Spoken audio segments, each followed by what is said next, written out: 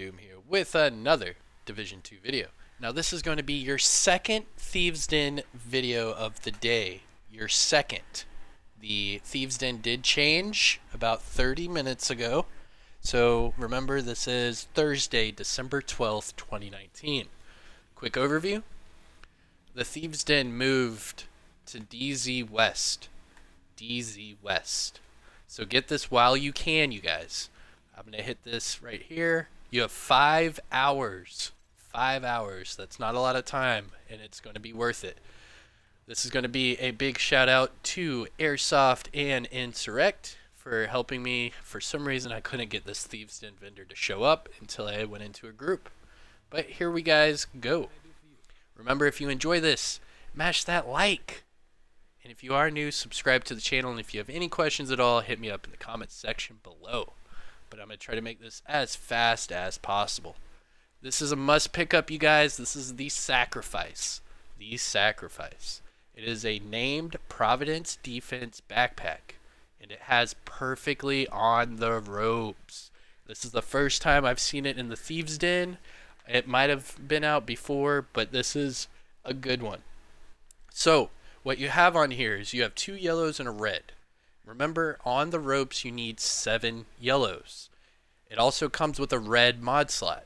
So what you can do is you could keep that weapon damage on there and then either re-roll the skill haste or the skill power. It doesn't matter.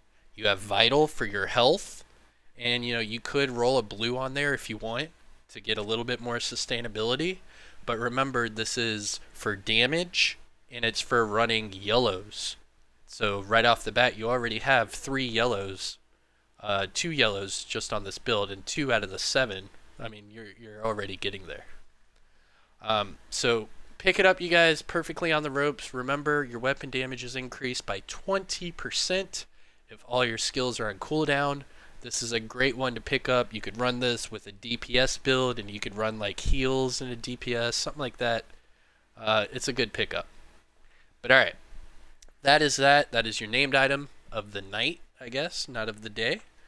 And yeah, there you go. So we're going to go through the gear set items and then finish up with the high-end items. Ongoing directive, holster, red and yellow, and two red mod slots. Crit chance is too low, and so is the skill haste. I would not pick that up. True Patriot, chess piece. Two reds and a blue with insulated. Also comes with a red, blue, and yellow mod slot. Weapon damage is low, crit chances okay, and the armor is low. Insulated's okay, but I would probably not pick this up. Hardwired chest piece comes with two yellows, or two reds and a yellow. You have crit chance, headshot damage, and skill power. Also has hardened, and then you have the yellow, blue, and red mod slot. Again, uh, the attributes are not that great. I would not pick this up. Negotiator's Dilemma Mask. Comes with a blue and a yellow. Health on kill and skill power and a blue mod slot again. I would pass. Tip of the Spear Mask. Red and yellow. Damage to elites and skill power with a red mod slot. Uh, both uh, the skill power is okay, but the damage to elites is low.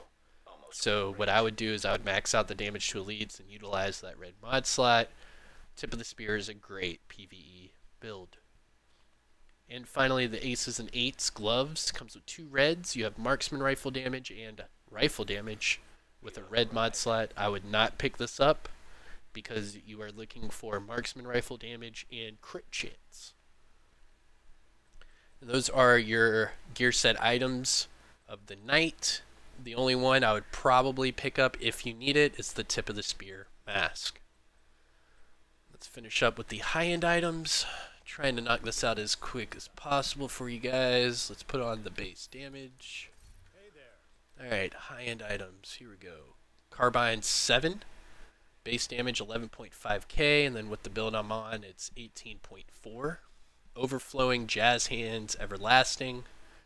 I would not pick this up. M870 Express. Low base damage. Sadist Jazz Hands. I would not pick that up either. Overlord armament chest piece. You have health percentage, weapon damage, and crit damage with hardened and two blue mod slots. Um, that's actually decent. I would re-roll the crit damage for either health or armor, what have you. Just keep the uh, the low health percentage and that weapon damage. That's actually not a bad pickup. Sokolov Concern knee pads with crit chance and health with entrench. Uh, if you like to run entrench, do it, but not on Sokolov, so I'll pass. Offensive protocol mod, critical.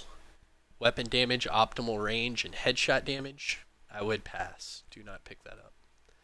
And finally, you have a Hive mod for the system slot. You have skill haste for 92.3%. That's decent. That's that's okay. It's not a perfect one, but it's decent. Alright guys, so uh, quick overview. I would recommend you guys get the Sacrifice all day. Uh, that's a good one. The True Patriot chess piece is okay. Tip of the Spear mask is okay. But the Overlord Armaments chess piece is actually pretty good. Yeah, it's got hardened, so you're not going to be running Berserk, what have you, but you can definitely turn this into a tank build uh, fairly quick. All you need to do is re-roll that crit hit damage for a blue, and then utilize the two blue mod slots. You can definitely make that a little tanky. But alright, you guys, that's it. Kamikaze Von Doom. If you guys enjoyed it, make sure you hit that like, subscribe to the channel, and I'll see you guys in the next one. Peace.